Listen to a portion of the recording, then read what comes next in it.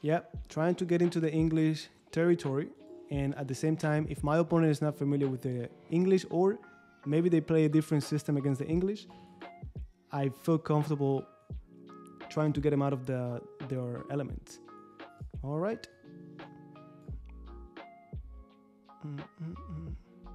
The same thing as if you if we have started with c4 and then Botvinnik triangle.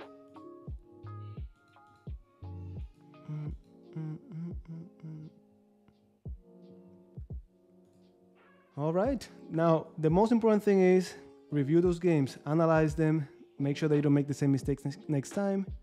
And look, at some point, what's really going to matter is cha cha cha. If your rating, did your rating go up? Did your rating go down?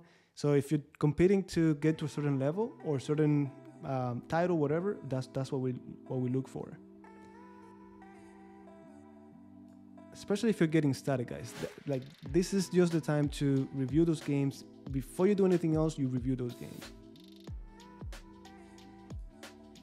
Yeah, it's a pretty nice. It's a pretty nice system to use. Pretty nice system. It's the same thing I'm doing now, but my pawn is on c4.